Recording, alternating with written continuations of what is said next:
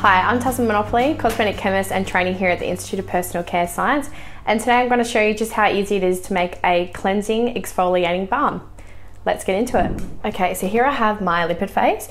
I've chosen to go with some EmoSmart L19. This has got a bit of a medium skin feel because um, I don't want my cleansing balm to be too dry. Um, to this I'm going to add a bit of jojoba oil.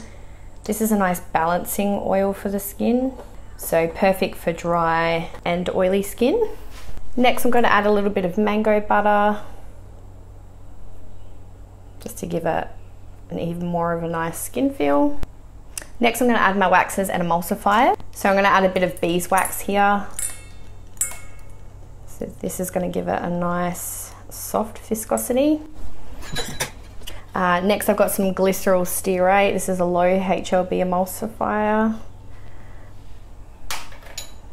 And I'm also going to add a little bit of polysorbate 20.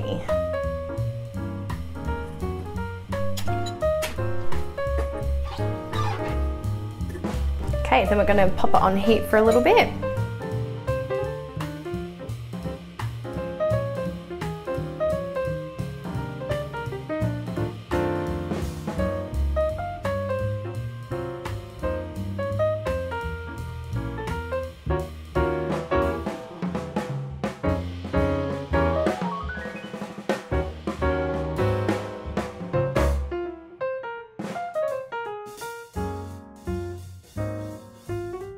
Now, once that's all melted and come together, we're just gonna keep stirring until it cools. Now, this won't set straight away, so we're just gonna keep stirring to cool and then we're gonna add our heat sensitive materials in there and then we're going to cover it and leave it overnight to set. So full viscosity will be achieved the next day.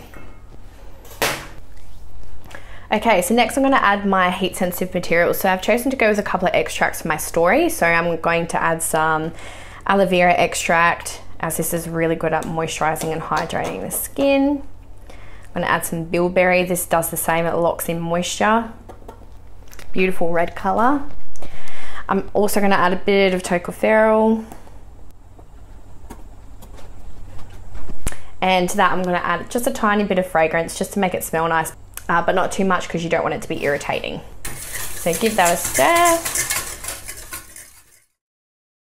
Now, last but not least, I'm going to add my exfoliator. This is a bamboo exfoliator. Now, you don't want to use a particle size, probably more than 100 for the face. Um, so I'm going to add this in here and give that a stir. Make sure you give it a good stir to make sure all the particles even out.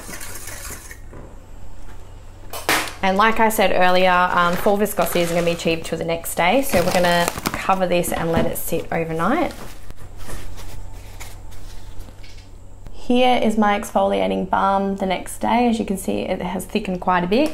A very nice viscous consistency and really emollient. Uh, you probably can't see the particles, but it's, it's exfoliating but not too harsh because you don't want it to be too harsh on your skin.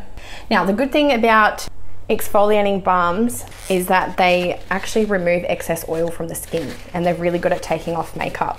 Um, the oil helps to lift the extra oil and the makeup from the skin, and then obviously the exfoliating part is going to help with removing those dry dead skin cells. So, really good product here. And that's how easy it is to make a cleansing exfoliating balm. If you enjoyed today's video, please give it a thumbs up. Leave any questions in the comments below and make sure you subscribe to receive notification on all our videos. Happy formulating!